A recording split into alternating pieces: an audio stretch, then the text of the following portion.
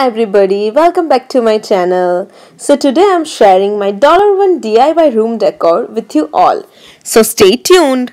So here I have taken a photo frame and a cotton balls from dollar store and I'm sticking this cotton balls with a hot glue gun to the paper which I which was already inside the photo frame and I'm just doing a random pattern sticking all the cotton balls which I have in this paper.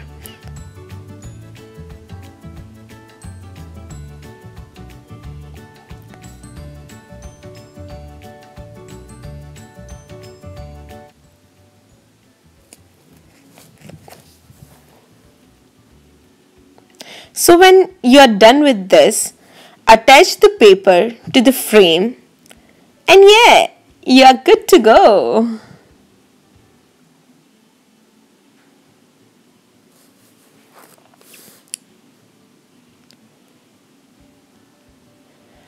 So for my second DIY, I have taken an empty beer bottle which I assume everybody will have it their place and if not you can take any empty glass bottles.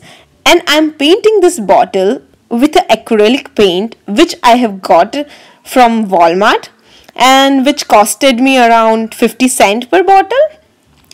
And now uh, once you are done with the color like I'm what I'm doing here is tying a knot with thread on the top of my bottle.